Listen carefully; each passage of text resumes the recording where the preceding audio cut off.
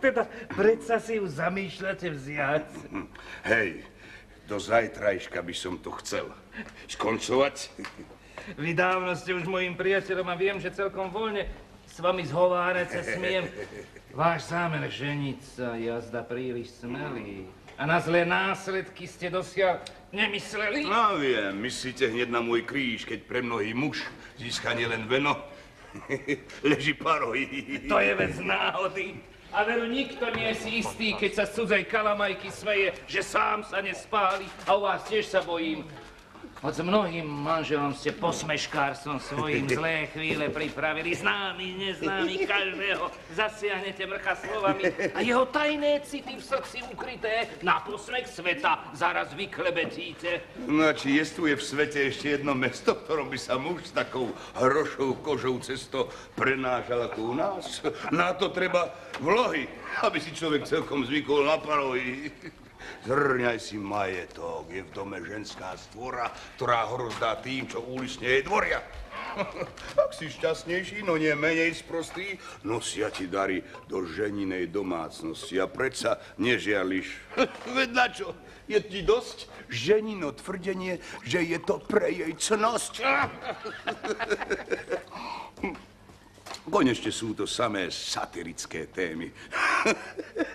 A či sa nemám smiať, keď všetko smiešné je mi u našich hlupákov?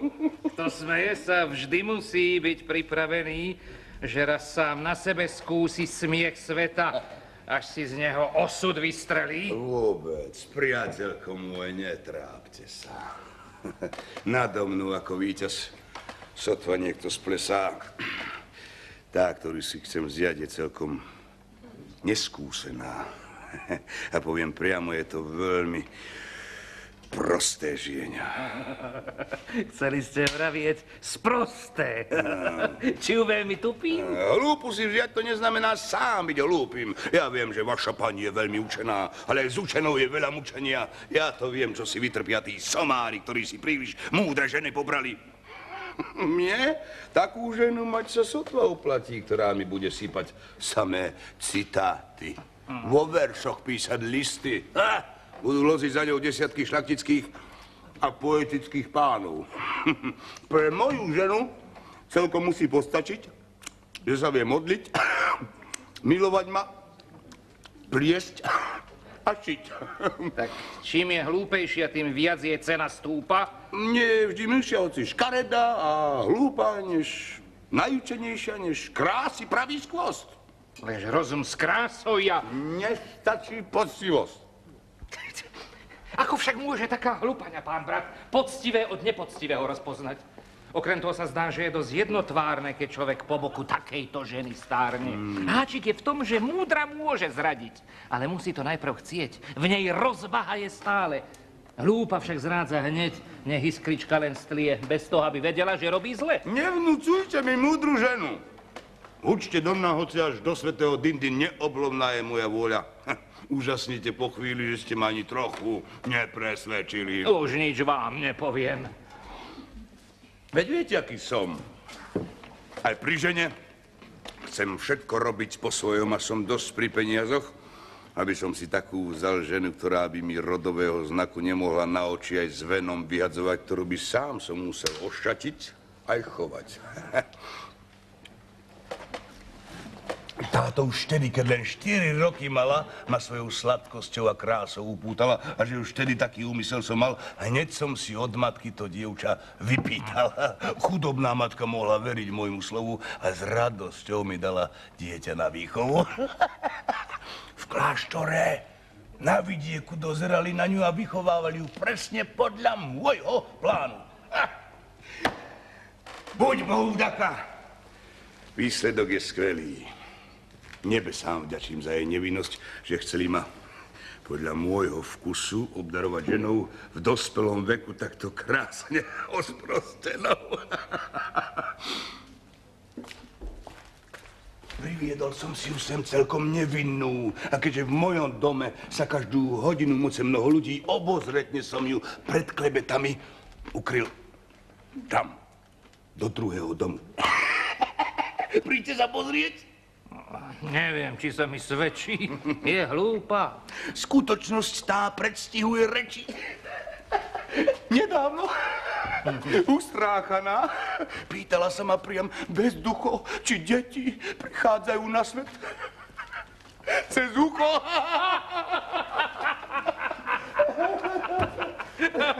Pán Arnulf, nesmierne sa teším. Ale hej.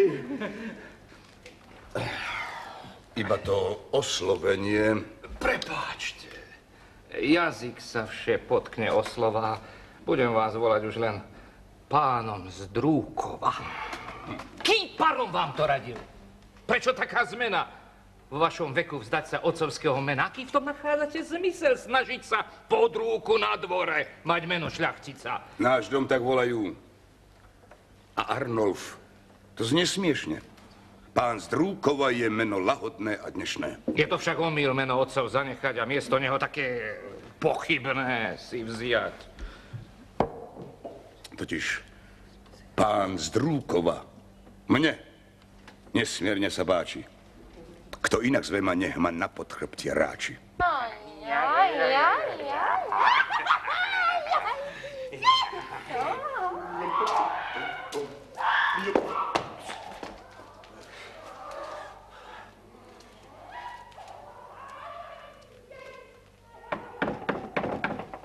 Otvorte. Toto trepe. Budú ste celí natešení, veď 10 dní ma nevideli. Kto to búcha? Alen, Čo je? to sú pán. No choď, otvor. Len choď ty. Ja nejdem, nože vstaň. Mačku mám na kolenách, nemôžem, keď pradie. Z vás dvoch neotvoriť dvere, bude ohľade a smede 4 dní. Tak spoznáva, žrať nedostane. Už ma mrle žerú. Ja som to, pane, otvoril. A šľapa veru, ja som to bola. Ja, ja, ja. Tak už mlčte vy tam. Netárajte. A vravte, až keď ja sa pýtam. Alen, ty povedz, čo ma nového tu čaká. Pane náš, my... To ťa somár učil, keď páni hovoria s tebou, nechať čirák na drganí. Pomýlil som sa, pane. Tak nesu mi privec.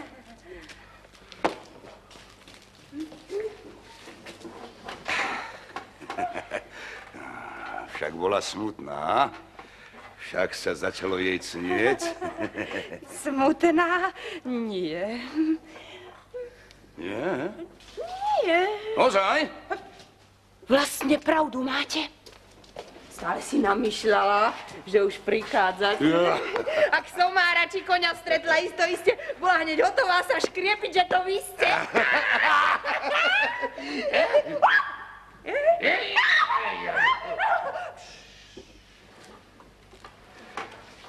Tak, to je pekné. Ručná práca pícha domů. Agneska, vrátil som sa. Tešíš sa ty tomu? Ďakujem, pane, áno. Totiž nemám slova. No, ja sa teším, že ťa celú vidím znova. A zdá sa, nemáš sa tu na čo sťažovať? Len na blchy, čo v noci nedajú mi spať. Čo skoro muža budeš mať? Čo schytá? Robíte mi radosť, ja? Tiež. Ten strich, čo držíš, to je čo? Co čepiečiem, pane? Pre vás sú košele a čapky prichystané. Tak sa mi páčiš. Teraz pekne dnu zazbeš. O chvíľu prídem za tebou a ako vieš, závažné problémy si pretrasieme sami.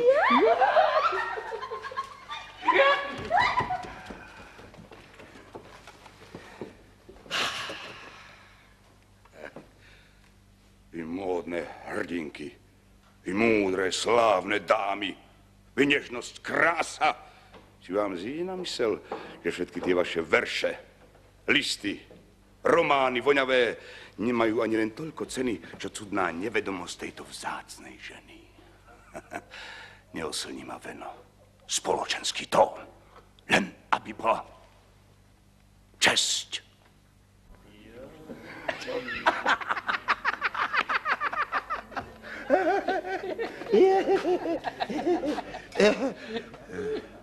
Čo vidím? Je to on? Hej! Nie, mýlim sa. A nie, čo to iba sen je? Hor! Pán Ar... Hurá! Arnold! To je ale prekvapenie! A dávno ste tu? Už 9 dní. Už toľký čas? Už som vás hľadal, ale nenašiel som vás. Vraciam sa z vidieka. Hej, už dva dní vás tu nie je to. Ach, ste vy krásne vyrástli. Veď je to už celý šuhaj z vás, keď som vás naposledy videl. To takýto z vás fakt vtedy. Už rastieme. A otec váš, pán Oront, čo je mi vzácným priateľom, či zachoval si staré a dobré zvyky. Veselosť a špás. Nevidel som sa s ním veľmi dlhý čas. Ak dobre rád tam budú 4 roky pomaly. Ani len riadka sme si nenapísali. Stále je veselý a zdravý. E, Tu vám nesiem list od neho. Mne v druhom liste píše, že sem čo skoro príde, ale príčinu mi znať nedal. A teda neviem, čo chce vykonať. Na čo tie okľuky? Sme starí známi, on i ja. A obídeme sa i bez poklon. Ak peňazí vám treba, vravte. Nech sa páči. Veľmi rád poslúžim. Vaše slovko stačí. Rád beriem ľudí za slovo. Priznám sa, som na poli v kaši a potrebujem stovku pistolí. E, ozaj sa teším, že vám môžem vyhovieť. A práve toľko môžem požičať vám hneď. Nechajte si aj mešec. Treba... Nechajme to. Už vravte, ako sa vám páči naše mesto? Domy sú nádherné a ľudí tiež je veľa. A tak sa mi zdá, že sa radi rozveselia. Neváhajte. Ženy sú tu veľmi koketné a manželia sú tu najhlúpejší na svete. Ste príťažlivou sortou muž, len potichučky. Môžete veľmi ľahko dávať mužom frčky. Nič nechcem tajiť, pane, preto poviem vám. Už som tu zažil dobrodružstvo. Keďže mám priateľstvo vo vás, pre vtip, žiaľ i pre útechu. Aj, zas nová historka bude, že to smiechu a moje zásoby zas obohatia sami. Spolahnem sa, že to zostane iba medzi nami. Ak sa mám priznať, teda istá krásna deva mi srdce zajala. A veru, sotva hnevá sa na mňa, lebo pri známosti úspešnej som veľmi ľahko získal prístup priamo k nej. A kto je to? Ach, ona iste zázrakom je. Tam býva, tam nedaleko, v novom dome. Ani len pánsky manier nemá. Počul som, že taký nemravník ju ukrýva pred svetom.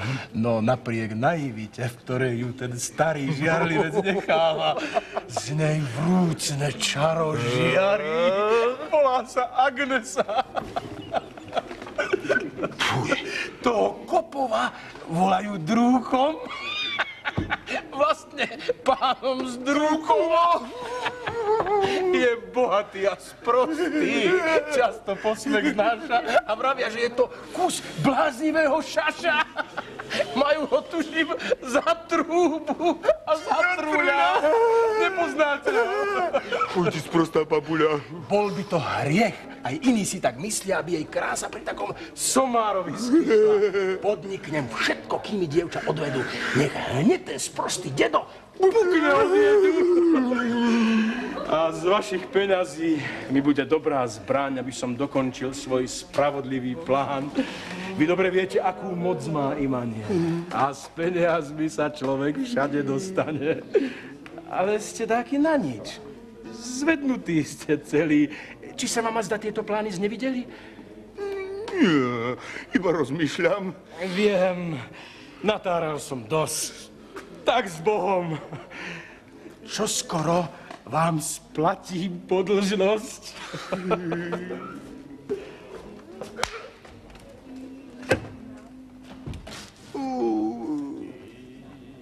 Ten mi ale dal... O, taká ohavnosť. Nejaké muky nevyvážia toľkú zlosť.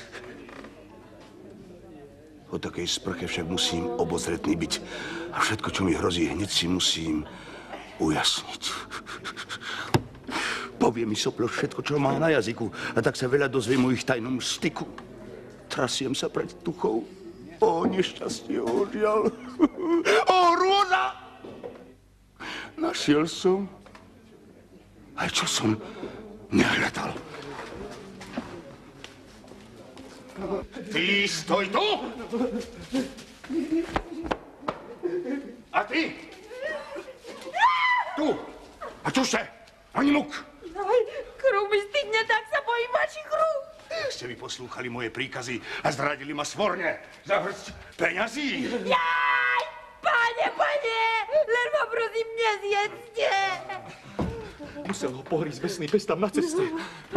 Euravte, lebo vytrhnem vám jazyk z úst. Chodil sem za ňou dáky muž. A? Ty chceš ujsť?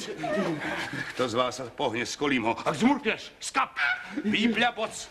Ako prišiel k Agnese ten chlap?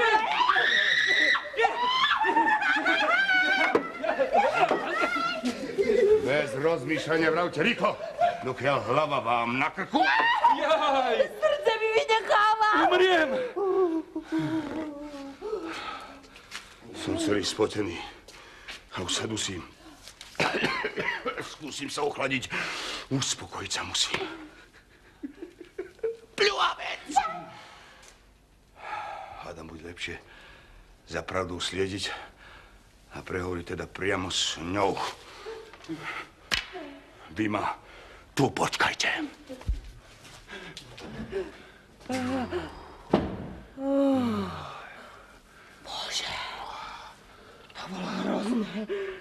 No, ten strach. Myslela som, že už je po mne. Na všetkých žiarli také hlúpe obavy. Eš, odkiaľ mu to naraz vošlo do hlavy? Mužovou polievkou je žena. A keď zbadá, že sa mu dajaký chlap do revíru vkrádá a hľadí, či tam nie je dačo na dostrel, do jeho polievky by vopchať prsty chce. Tu z chlapa vykuje sa priamo šelma dravá. Lenže prečo sa len niektorý tak správa? Koľko je manželov, pri ktorých dovolí si hodzaký lepší pán naberať z plnej misii? No to je tak. Niektorí radšej prísne taja, že z tej istej misi jedia polievku traja.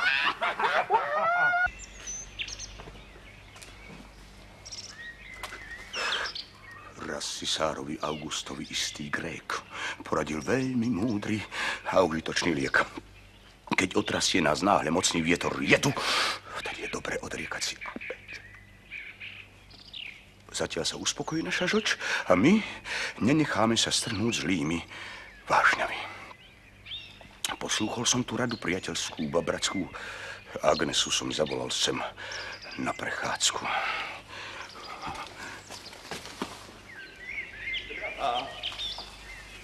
Park je pekný. Navštívime ho aj zajtra. Aj zajtra. A čo nového? Mača mi zdolhla. E, to je škoda. Ale zmuž sa, všetci sme smrteľní, aj mačky. Zdochnúť musia. E, One, e, kým som tu nebol. Sprchlo, všetko svieže.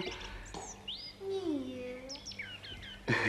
No a cnelo sa ti po mne? Snelo kdeže? Tak čo si robila? Zvídek, akým som došiel.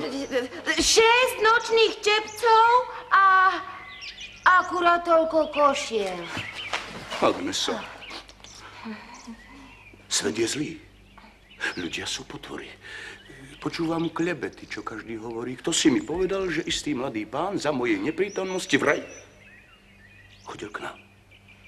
A že ti dvoril ako nikto na svete, ale a neveril som takej klebete a staviť som sa chcel, že srdiečko máš čisté. Nestávajte sa. Ľahko prehrať mohli by ste. Rs. Lež, ak mi moje zmysly ešte dobre slúžia. Zakázal som ti pozrieť na cudzieho muža. Šila som vaše čepce, sediac na balkóne. A zazrela som dolu v pouličnom zhone mladého muža, ktorý keď sa stretol s mojím zrakom, hneď poklonil sa siahnuc za širákom. Ja chcela som mu ukázať, že som zdvorila. Poklonu som mu preto okamžite vrátila. O chvíľu zasa šiel i očkom hodil po mne a ja som mu zasa pozdravila skromne. A tak to šlo stále. A ja poslušná to sa vie. Usmiala som sa naň pri každom pozdrave. Na nešťastie však prišla noc a pretrhla nám prejavy zdvorilosti. Výborne. Ráno, keď som vyšla za dverí, akási babka zrazu ku mne pritrieli. Devuška moja, dobrý pán Boh žehnaj vás a zachovaj vám krásu ešte dlhý čas. On urobil vás takou peknou preto, aby ste užívali krásy, ktorá oči vábi. A vedieť musíte, že už ste ňou poranili isté srdce, ktoré túžobne dnes kvíli. Šľak ťa vzal babizňa. Ty ďablov fiškál pravý. Ja, že som ranila? Pýtam sa. Ona vraví. Ranila, devuška. A práve toho pána, čo včera zdravil vás. Á, to je ťažká rana. Slovom, ten bedár z Mára sa aj nie. A ak mu vaša, vraví ďalej dobročinne. Ukrutnosť pomoc odmietne. To znamená, že za dva dní mŕtvy. Z toho trápenia. Vravím jej, to je pre mňa trízeň ohromná.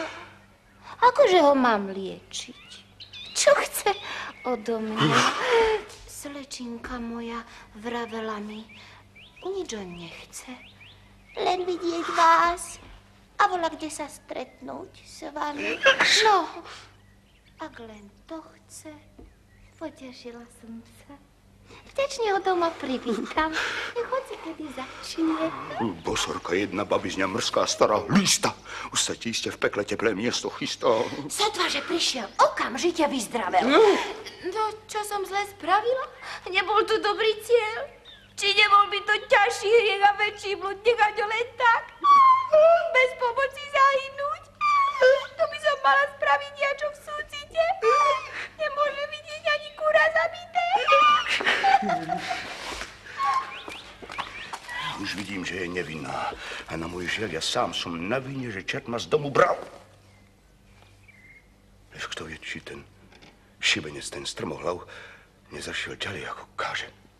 Dobrý mrav. Čo vám je? Vidí sa mi, že sa pajedí. Pred vami neslobodno vravieť o súcite. Ja slobodno, ale vieš, chcem niečo počuť o tom, ako sa ďalej správal. Čo sa stalo potom. Bol veselý. Aj choroba sa hneď stratila, keď si mohol pri mne posedieť. A viem určite, že by sa zapáčil aj vám. Dobre, no. A, a čo robil, keď bol s tebou sám? No rozprával, že ma ľúbi. Noža vôbec. Stále sa nežne rozplýval v citoch a v samej chváli. No, a keď toto všetko povedal a spravil nejaké ďalšie nežnosti ti neprejavil? O, áno. Hneď mi ruky boskával a hneď sa zasa vrhol. Boskávať ma na šiu a plecia. Nič iné nevzal ti, keď už bol takým vrelým. Jaj, vzal mi. Čože? Vzal, Hm. e, tu, No. tu. Neostojím sa povedať, vzal mi, ale vy sa nahneváte. Nie, Hej, nie do čerta toľko slov o tejto strate. Čo ti vzal? vzal mi. Preokrutný bol ma páli. Tú peknú mašľu, ktorú ste mi dali. Mala som nedať. Bol by znova ochorel. Čo tam pomašli? Ja len to som vedieť chcel, či bolo medzi vami len to boskávanie. Nuža, či možno ešte dá čo robiť? O nie. Než aby celkom uzdravil sa, nechcel inú... Ako to riecť? No, nechcel ďalšiu medicínu. Nie. Hm. Ale nech by žiadal hociaký liek. Preň by som bola schopná urobiť čokoľvek. Nebe sám vďaka, že som neutrpel väčšej straty, ak mi sem ešte príde doláme mu na ty. To, čo sa stalo, stalo sa. A odpúšťam ti. Vidíš, čo sú schopní takí špekulanti. Zneužil podľa tvoju hlúpu nevinnosť a sklamanie ti nechal o mne zasa zlosť. Posobáš už nie hriechom bosky chcieť? Nie. Ja, tak vás prosím, vydajte ma, ale hneď. Ak si to želáš, stane sa. Ja tiež to chcem vydať. A preto len som teraz prišiel sem. A je to možné? A dúžem, nech som pes. Budeme manželmi? Áno, A kedy? dnes. Dnes? Hej, dnes večer tvoja radosť tuším vzrastá. Ja vzrastá. Nepostačí byť svetkom tvojho šťastia. O, vy ste zlatí. Ako sa vám odvďačím. Už verím na že šťastná budem s ním. S kým? Čo? Čo to táraš? Veš? Ale si ma pichla. Získávanie muža si veľmi rýchla. Iného vezme si. Ak príde, hodíš po ňom kameň. Ak nehodíš, tak obidvom vám hnáty zlámem. A teraz domov. vy chcete... Pripravím ti raj. Som pánom. Rozkazujem. Čuš a poslúchaj.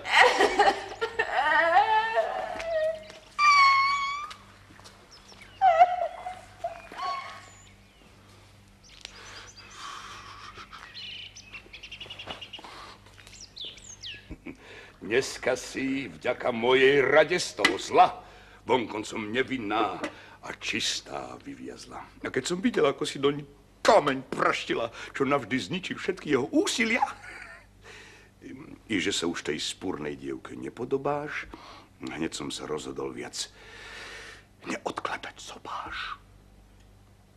Hm.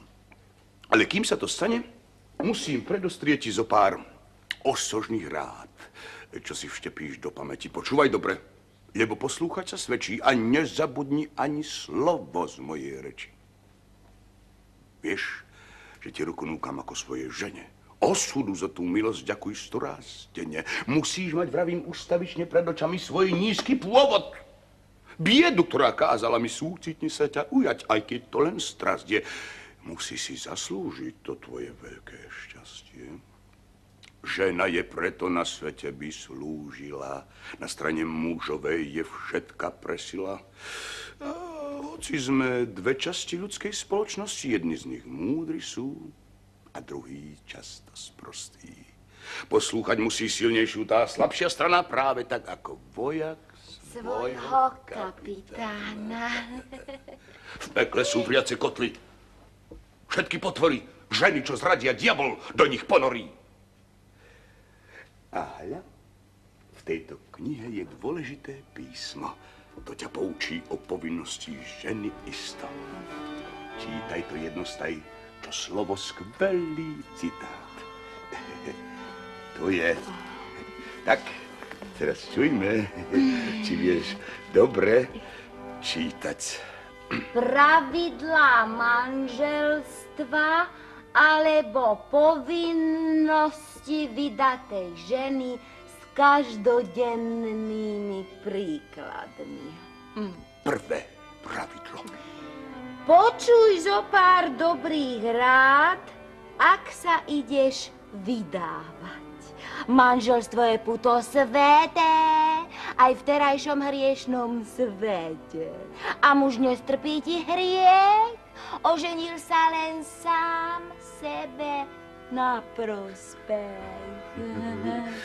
Neskôr ti vysvetlím, čo je v tej neskonalej múdrosti ukryté. Zatiaľ si čítaj ďalej. Druhé pravidlo.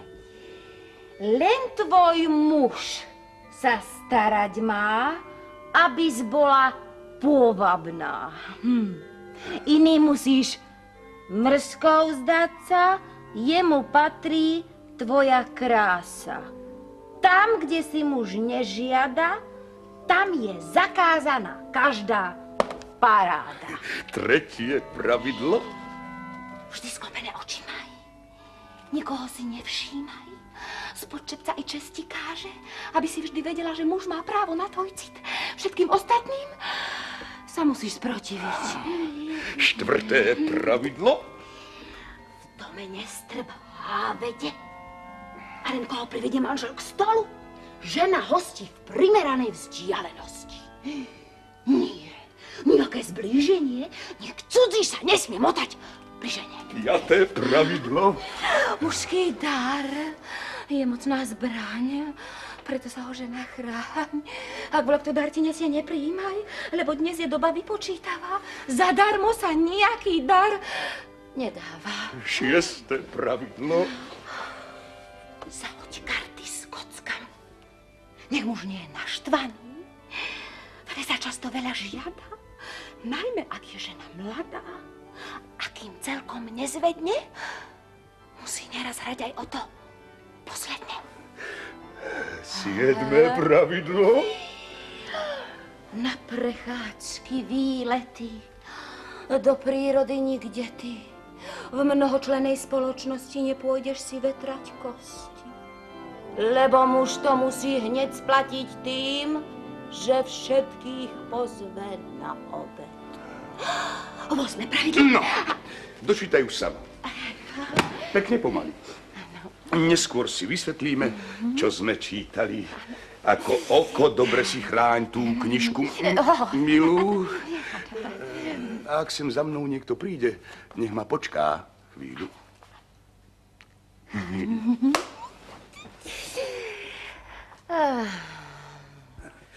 Múdro som spravil, že si beriem túto ženu. Kam len chcem, povediem jej dušu neskazenú. Je meká ako vosk, čo teplá ruka tlačí. Ja jej dám takú podobu, aká sa mi páči. Prichádzam práve od vás. Často som vás chcel navštíviť, no nikdy som vás doma nenašiel. Až dnešný deň ma teší, že sa môžem s vami. Len prosím, bez poklon, sme predsa starí známi. Obdivujem váš úspech, úžasný a prudký. A zaujímajú ma vaše ďalšie skutky. Na môj dušu, odkedy som sa stretol s vami, na lásku ustavičná smola lepí sami. A to už ako? Krutá šťastie na môj milý. Vrátil sa z vidieka, zlý strážca mojej víly. A to je zlé. No najhoršie, že na môj žiaľ o našich tajných schôdzkach všetko vyňuchal. Odkiaľ do paroma sa to dozvedel? Neviem, lež je to isté. Viete, ja chcel som v obvyklú hodinu, keď hnal ma sladký cit, zasa tú mladú krásavicu navštíviť. Ale mi osud doprial sotva žmurknúť na ňu, slúžka i sluha mi tam zatvorili bránu.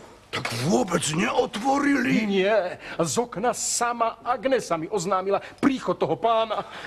A veru, ako šialená či opilá, hneď na to veľký kameň do mňa hodila. Čo, kameň? Veru kameňom, tým od hnevu splatila mi zdvorilostnú návštevu. Jej správanie už ani trocha nie je jemné. Musíte sa včul cítiť veľmi nepríjemne. Vyhútať musím nejaký úskok samopáža, prekabátiť musím žiarlicou stráž. Hmm, taký kameň. Je to bolestné? No, ale nech vás to nezarmúti. E, vôbec nie. Neskôr som pochopil, že sa tam niekde schoval ten hnusný starý gáň a všetko režíroval. Však Agnes sa našla, vediac len šiť a pliesť na svoje vzdelanie až veľmi múdru les. Láska vie učiť veci ozaj neslýchané. Čím človek nikdy nebol, v momente sa stane. Aj hlupákovi pridá veľa na múdrosti. A prostú devu vedie k vynachádzavosti. S tým kameňom, čo šmarila tak resko nadol, mi k nohám súčasne aj bielý lístok padol. No. Čo súdite o tomto jej šibalstve? Veď ona ostrov tipom rýchlo prerastie starého žiarlivca. Ej, bol by to len špás vidieť ho zúriť, až sa všetko dozvie raz. Povedzte. Áno, spás. Veď zasmejte sa predsa. No, že by ste sa smiali, nepozorujem. Prepáčte, ja sa smiem tak, ako len viem. Ukážem vám ten list. Len pozrite, čo núka. Všetko, čo srdce cíti, zapísala ruka. Chcela by som vám písať, ale neviem, ako začnem. Naozaj neviem, čím ste sa voči mne prehrešili, ale cítim, že to, čo mi kážu proti vám urobiť, ma strašne trápi. A že by ma veľmi bolela rozlúčka s vami i že by som chcela náležať len vám. Ústavične mi vravia, že všetci mladí muži sú klamári, že ich vôbec neslobodno počúvať a že všetko, čo ste mi nahovorili, bolo len preto, aby ste ma pobláznili.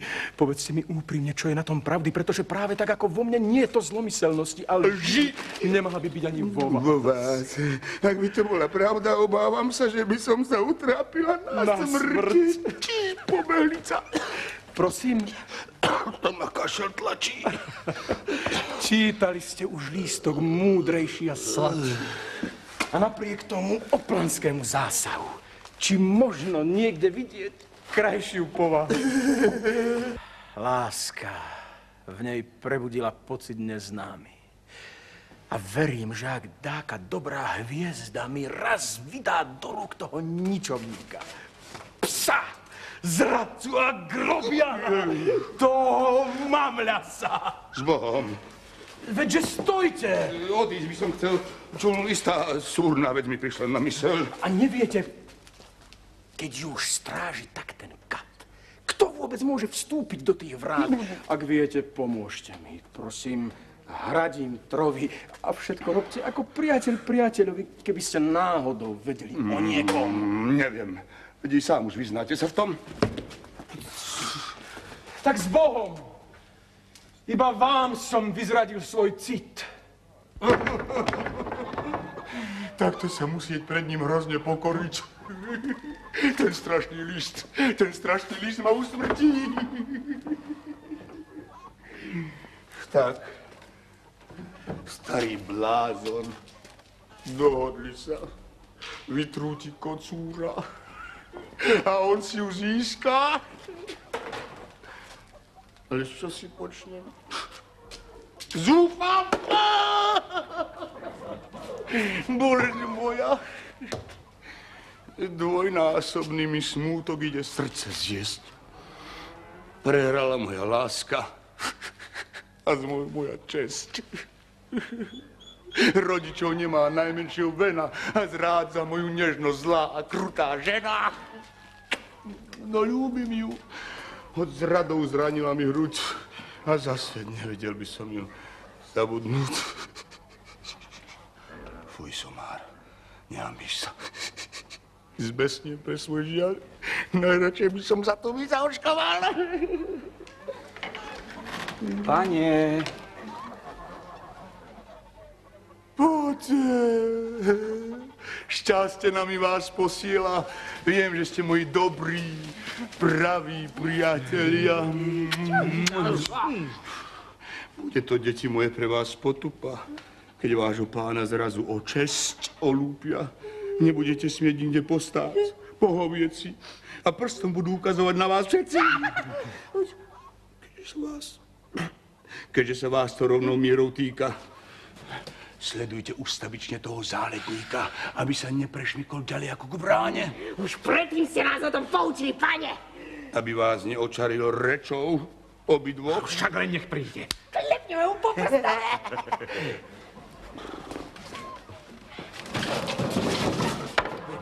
Keby tak prišiel.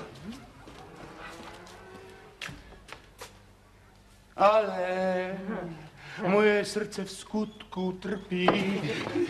Ty dobrá duša uľav môjmu smútku. Ste trúľo. Výborne.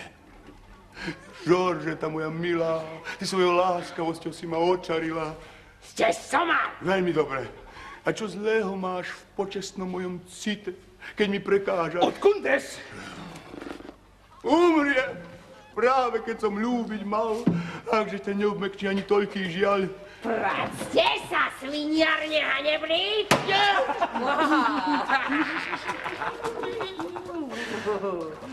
Veľmi dobre. Oj, Ja nie som muž, čo zdarma istej služby žobre. Zapamätám si, kto mi pomoc poskytne nepredbežne. Alenko môj tu máš sprepitné. A Žoržeta si zasa novú sukňu kúpi. Tak teraz vidíte, že vôbec nie som skúpi, že trúsim dobrotu a málo žiadam za ňu. Iba môcť troška vidieť vašu peknú paniu. ani krok! Dobre, zmiznúť? Dobre, Odpáľ trhár! výborne! Stačí! Za slavo na jeho vrhá!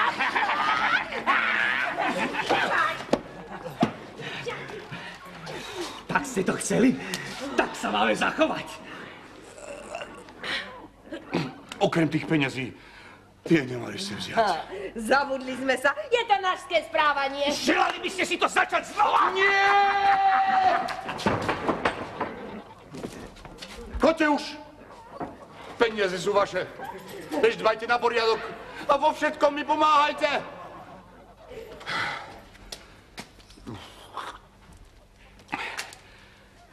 Vezmem si za špehúňa ševca za rohom.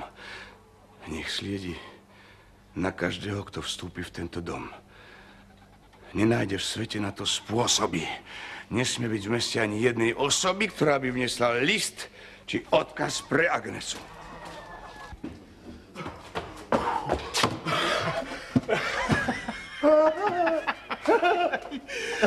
Na toto miesto k vám ma stále nesú. Ubzikol som zas. Mám o skúsenosť viac.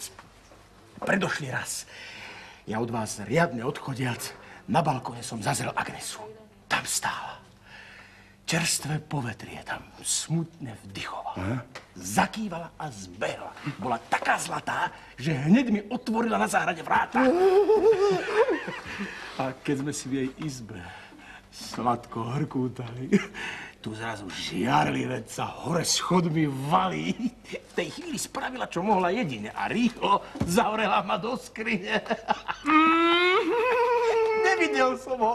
A tak blízko boli sme. Ho počul. Behať po izbe. Zavše si zavzdychola, ako hnev v ňom rástol. Čo skoro zašel chmuľo trieskať pesťou na Dokopal psíka, čo mu skočil pod nohy a hádzal do nej kadejaké rárohy. Roztrepal všetky vázy, ktorými si milá Agnesa, moja kozub krásne vyzdobila. Určite tomu baranovi niekto zas vyzradil posledný jej podarený špás. A keď už sto raz prešiel k obloku a späť, a zda ho začal opúšťať ten strašný jed, nič nepovediac ustráchanej dievčine, konečne vyšiel z izby a ja Do skrine!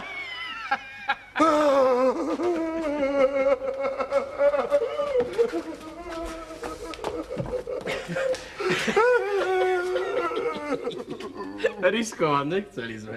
A sme sa ho báli, preto sme ani dlhšie spolu nezostali. Neuškodí nám jeho slepá nenávisť.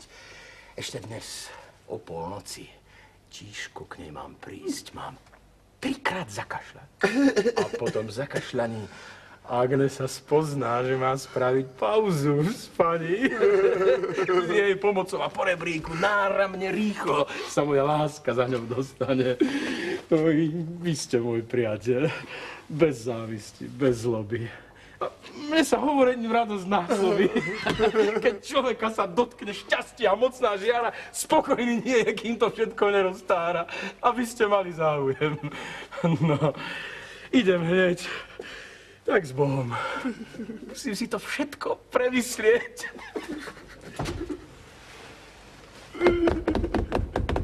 Ó, hviezda moja ukrutná, ó, beda, bieda. Toľa na mňa vydýchnuť mi nedá. Úder za úderom. Ja len hľadím z kúta, ako ich dôvtip mojou pozornosťou zvrta. Mne, dospelému, skazí tucty múdrych snách, je mladá nevinnosť, mladý vetroplach. O, krutý osud. Ešte zajac marne blaznie. Iba mne musí patriť predmet jeho priazne. Jak mi jej srdce vzal ten fičúr neblahý, prekaziť ďalšiu krádež. Dosť mám odvahy. A dnešná noc, ktorej tak zbožne sníva a zdá, nebude taká sladká, ako sa včul. Nazdá.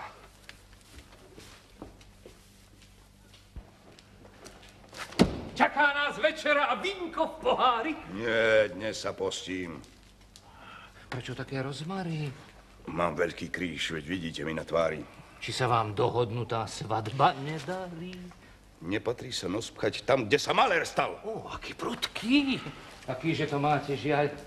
Netreba každé slovo hneď brať na vážky.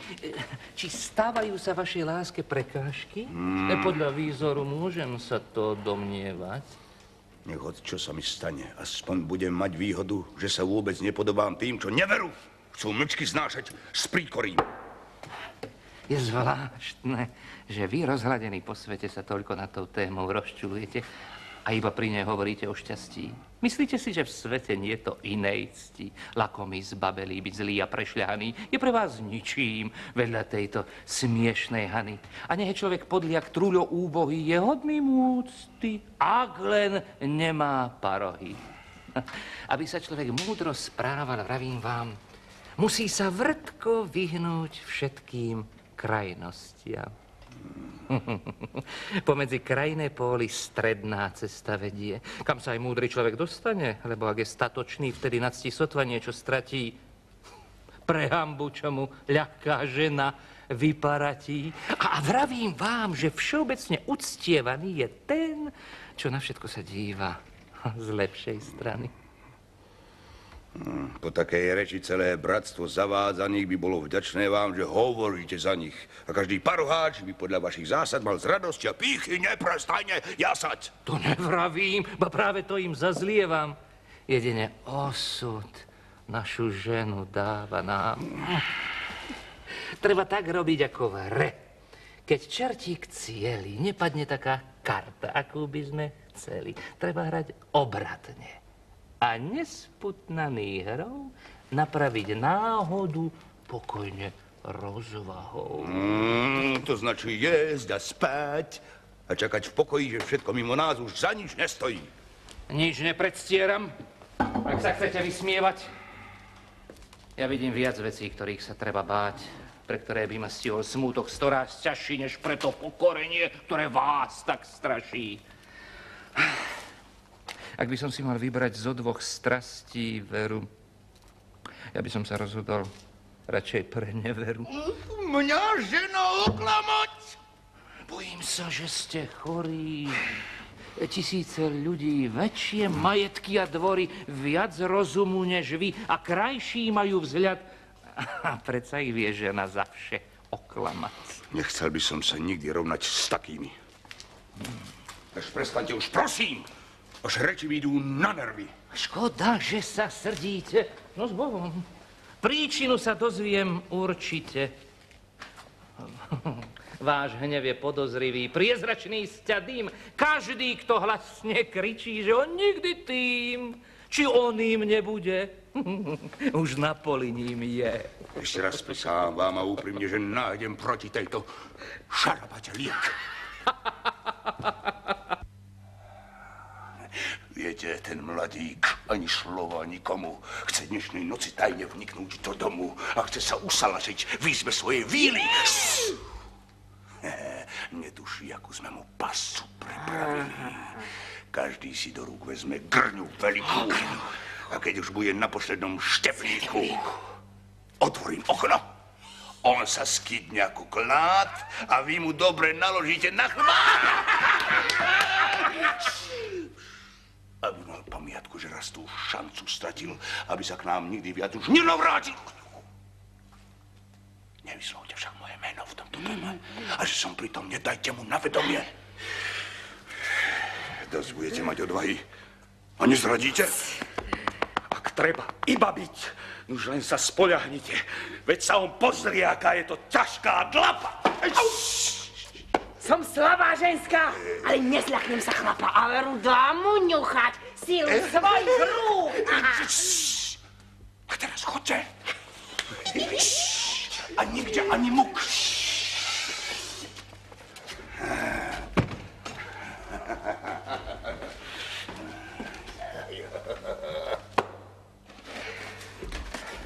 Ja.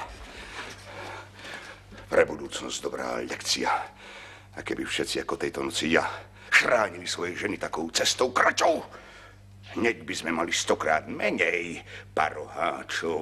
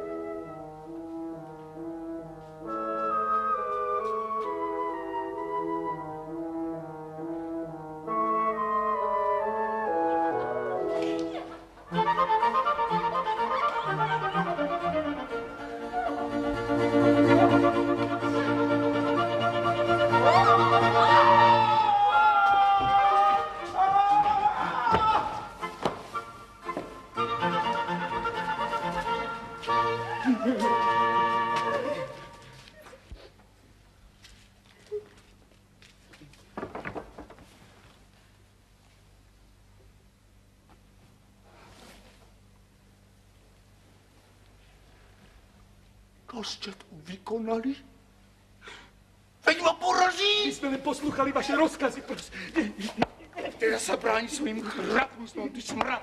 Rozkázal som ho mládiť a nie zabíjať.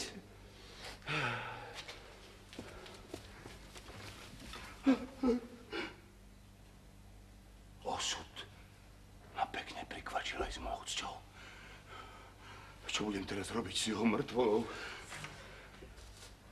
Počujte, keby sa vás niekto spýtoval, nepovedzte, že som vám taký príkaz dal. Vráťte sa domov.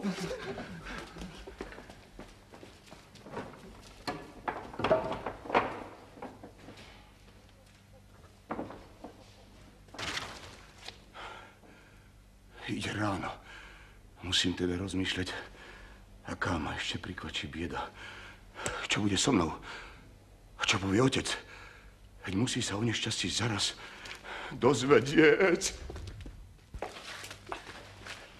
Taký ma stihol kríž, že neverili by ste. A vďačím nebesám za pomoc, ktorou iste zasiahli tým, že sa čul môžem stretnúť s vami.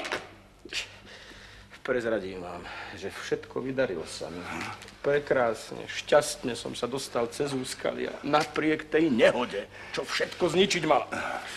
Len jedno by som chcel vedieť. Ktorý antikrist mu prezradil, že dnes mám za Agnesou prísť? Už som bol celkom pri okne, keď tu z nezrady sa dvaja ľudia myhli v šere záhrady. Zatriasli rebríkom a mal som takú svolu, že ako hnilá hruška skydol som sa dolu. Obaja. Bol tam, tuším, aj ten mameluk. Pripisovali môj pád sile svojich rúk. Odniesol som si len pár pretiahnutých žíl. Práve môj pád mi holý život zachránil. Ja totiž z že ma stíhla taká psota, som zostal ležať v tráve ako bez života. A oni mysleli, že zabili ma, Mari. Keď som to vyčítal z ich prestrašených tvári a keď som počul, ako sa tam hádali a ako sa z tej vraždy obviňovali, hromžili na osud a škriepili sa preň, skúmali, či som mŕtvý, predstavte si len. Keď noc im vzala obozretnosť všetku, ľahko som mohol zahrať mŕtvolu v tom zmetku. Odišli vyplašení, ja som pekne vstal a práve na odchod v tej tme som pomýšľal, keď prudko rozrušená mojou smrťou klamnou, Agnes sa zbehla do do záhrady za mnou. No keď ma našla dýchať, prepukol jej cit s radosťou tak, že ťažko je to vylíčiť. Čo ďalej vravieť? Táto zlatá moja víla poslúchala radu, čo jej láska predložila a nechce ju sa domov vrátiť bez záruky. S dôverou vložila svoj osud v moje ruky. Predstavte si, že ničoho sa neľaká pred bezočivou chúčkou toho strašňaka. A aký by ju teraz mohol stihnúť pád, keby som sa s ňou chcel len mrzko zahrávať? Nuž, moje plány s vami nasledovné sú. Chcel by som do vašich rúk zveriť Agnesu. By ste jej vo svojom príbytku poriadne poskytli útulok na deň či na dva dni. Viete, že také pekné dievča pri mne hneď si povšimnú. A nešlo by to bez klebiet. U vás však bezpečne by vyhla sa tisícerým nástrahám toho blázna. Preto vám ju zverím. Som ochotný ju skryť. Na mňa sa spoľahnite. Á, vy ste láskaví, len poriadne ju skryte. Počkám ju pri bráne. Privediete ju všakže. Chváli hodná je vaša obozretnosť, takže môžem sa celkom spoľahnúť. Nuž iba vám, skôr než sa vrátiť domov, dievča odovzdá.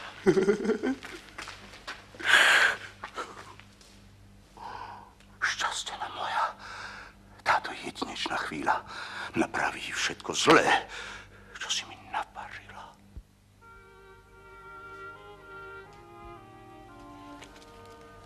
Nech sa vás vôbec nedotýka strach či žiaľ. Pokojný útulok som pre vás prichystal. Keby ste išli so mnou, vezmu vás do rečí. Do tamtej brány vstúpte. Tam ste v bezpečí. Prečo ma opúšťate? Musím, Agnesa. Ale prosím vás, čím skorej vrátim sa. Láska ma privedia túžby zocelia. Keď neuvidím vás, nebudem veselá. Bez vás aj mňa sa smútok chytí celkom iste. Keby to bola pravda, neodišli by ste. Neráňajte mi srdce takým slovom hrubým. Vy ma tak nelúbite, ako ja vás ľúbim. Ťahá? Veď vám hrozí nebezpečí, ak ostanete ešte tu. Muž, čo vás vlečie, je mojim priateľom a verte, jeho milá horlivosť ochotne vám úkryt umožnila. Ale mám s cudzým človekom? Nebojte sa, drahá, tak obetavo zradná ruka nepomáha. Kedy vás uvidím? Čo skoro príďem, zas. Ako mi bude smutno čakať do tých čias. Poďte, nie, nie, sem nie. Mám pre vás iný dom, kde uniknete všetkým podlým zámerom. Poznáš ma, čo? Moja tvár, ty ničomnica celú ťa vystrašila. Tak ma nerada vidíš, keď spravodlivý hnev ma ovláda. Pozrime, taká mladá, tak prefíkaná, tak naivne sa ide pýtať svojho pána, či deti prichádzajú na svet uchom, pričom sa v noci spúšťa tajne s každým pohoničom. A zaraz by sa za ním na kraj sveta brala, nech to šľach trafí, ako nežne cukrovala. Prečo ma bijete? Mám za čo? Mrcha malá. Nic zlého nevidím v tom, čo som vykonala. A prsnúť s mládencom na moju hambu veľkú? Muž, ktorý si ma vezme za manželku. Sám ste mi radili pred cnosť a pre útechu, že sa mám vydať. Aby som zavila hriechu. Hej, ale ja som si ťa chcel vziať láskavo a zreteľne som ti to dával najavo. Ak mám však vravieť úprimne, tisíc raz dám prednosť jemu, než by chcela vás. A máš ho rada? Milujem ho náramne. Nehambí sa to povedať práve mne. A keď je to pravda, prečo by som neriekla? A smie sa to ty, ty, ty, ty, ty. Háďa. Do pekla sa možno dostanem, lež on je na vine. Nevedela som, ako sa to vyvinie. Ešte sa tešiť mám z tej smoly prekliatej.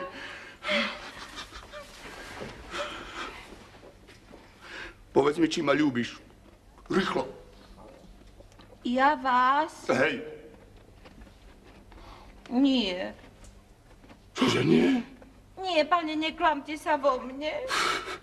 Prečo ma nelúbiš, ty žienia neoblomné? Bože môj, Mne to nezazlievajte, mne nie, že nie ste ustrojení na zalúbenie. Dospelá neviem nič. Aby ste veru veľmi málo dbali, aby ma za hlúpaniu nepovažovali. Chceš teda teraz, ak si dobre rozumiem, sa niečo pri tom šujákovi učiť? Chcem. Ba všetko, čo len viem, od neho len mám. Ja som teda dlžná jemu, ako vám. Uj, neviem, čo ma zdržá, aby som nebol. Za také slovo po papuli necapol. Nech sa vám páči. Vybrdnete z pomíkova. Jaj.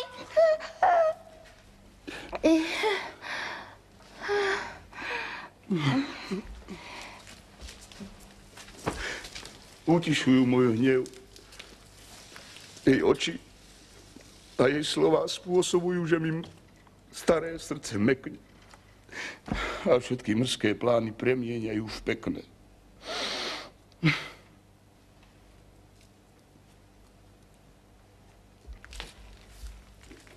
Tak už sa zmierme. Poď, ty malá zradkyňa. Vraciam ti svoju priazeň. Nie si nevinná. A preto váš si lásku, ktorú k tebe cítim. A ľúb ma celým svojim byť. Vynasnažím sa, pokiaľ ľudská vôľa siaha. Ale čak mi zlyhá najčestnejšia snaha. Všetko to pôjde, drahá, ak len dobre myslíš. Ach, iba moje slova zalúbené vyslíš. Všimni si roztúžený pohľad nakoniec. O, nechaj toho soploša, babec, že čarami ťa spútal, sohavil tvoj cit a so mnou stokrát šťastnejšie si bude žiť. Máš rada slobodu? Choď, budeš slobodná. Všade, kde budem ja, no nikdy mimo mňa. Chceš, aby som ti dáky dôkaz predložil? Mám plakať pred tebou? Chceš, aby som sa zbil? Či polovičku vlasov vyškobal si z hlavy? Či zabil sa? Ver, že to láska zo mňa vraví. Vyvr sa na mne ukrutnica skop a zbí ma. Prestaňte. Taká reč ma vôbec nedojíma. Horác by dvoma slovami bol spravil viac. To už je veľa. Môj hnev vylieva sa z rác. A vykonám svoj zámer, keď si taká sprostá. Hneď z mesta poletíš, to bude moja pomsta. Keď nevážiš si city, ktoré vo mne horia, skrotí ťa tmavá celá. Pôjdeš do kláštora. Hrozné, čo stihlo nás. Sám nerozumiem tomu. Mŕtvolenie je to a aj slečna zmizla z domu. Tá je tu. Zavri ju do mojej izby hneď. Tam, že by ju chcel nájsť, nie. Ani pomyslieť. A potom o chvíľu, o krátku polhodinku, odíde krytý koč na vidiek z nášho rynku.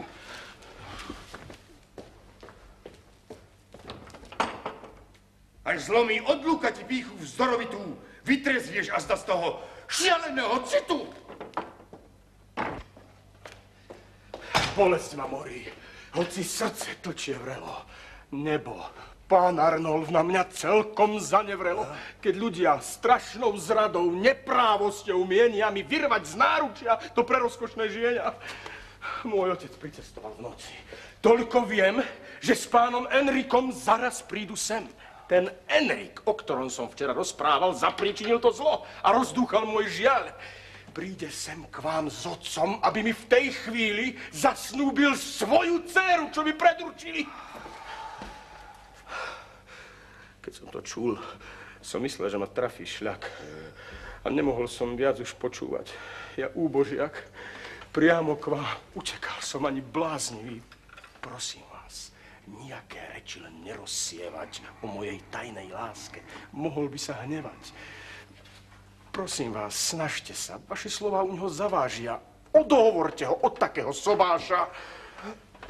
Hej, Poradte mu počkať. Viete, vek. Za trovi. Urobte mi to, prosím, ako priateľovi. vďačne vám pomôžem.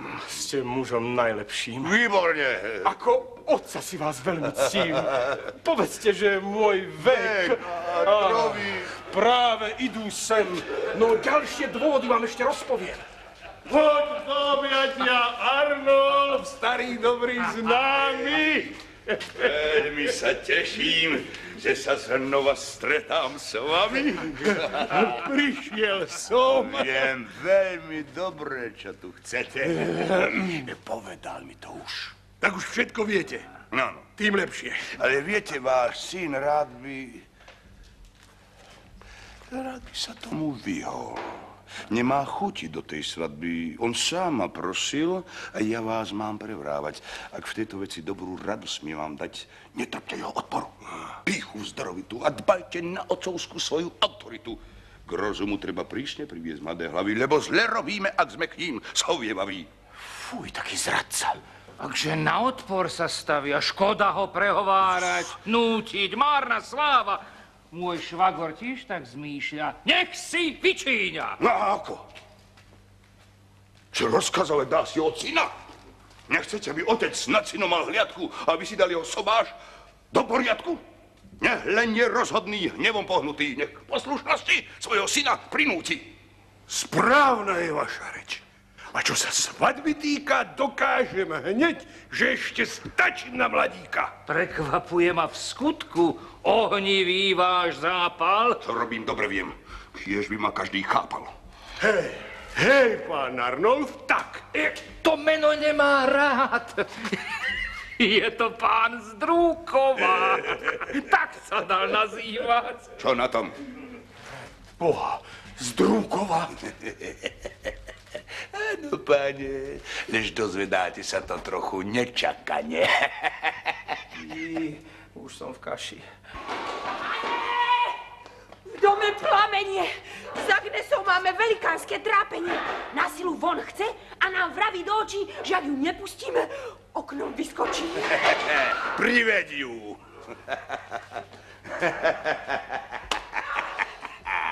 Ja sa s ňou, páne, ožením.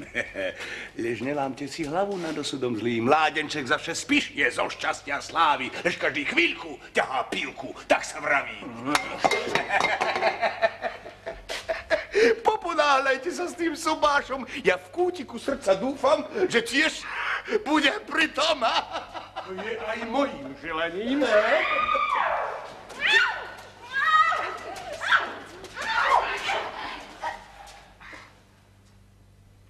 A poď. Poď len, poď. Márne si vystrájala podvodní na podvod. Tu je tvoj mladý frajer. Podajže mi rúčku a pekne sladko pokloň sa mu na rozlúčku. Tak s Bohom. Nech vás táto strata nebolí, každému neurobí osud. Povoli. Nechajte ma odvieť takto preč. Vôbec neviem, kde som, celkom strácam reč. Oh, už ty, jazyčnica. Nie, nie, nejdem ja. Vysvetlite nám, čo to všetko znamená. Prečo to dievča beznili ste, pane? Aj mne sa zdá čudné vaše počínanie. Nerozumieme, hoď počúvame vás. Vysvetlenie zdlhavé. A nemám čas. S Bohom, páni. Vyháňate nás?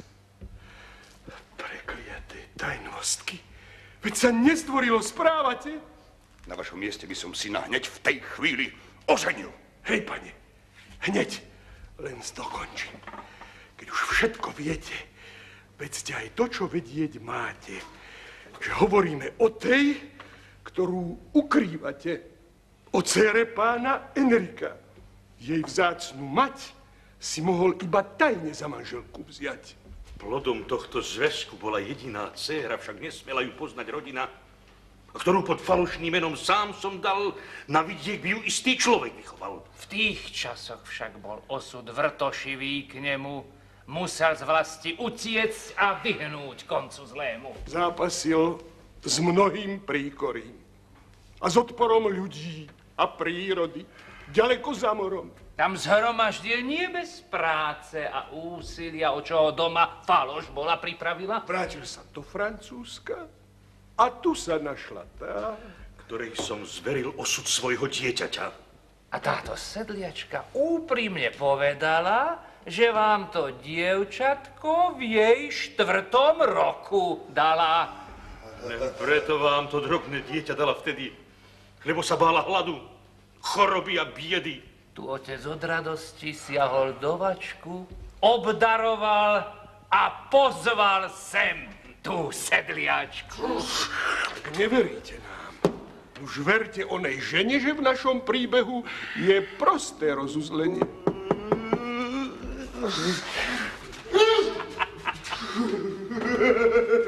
Už celkom chápem trízeň, čo vám ústa kriví. Osud však je vám aj v nešťastí milostivý. Keď sklamanie je pre vás korením zlým a tvojím najlepší protiliek je nechať ženy druhým.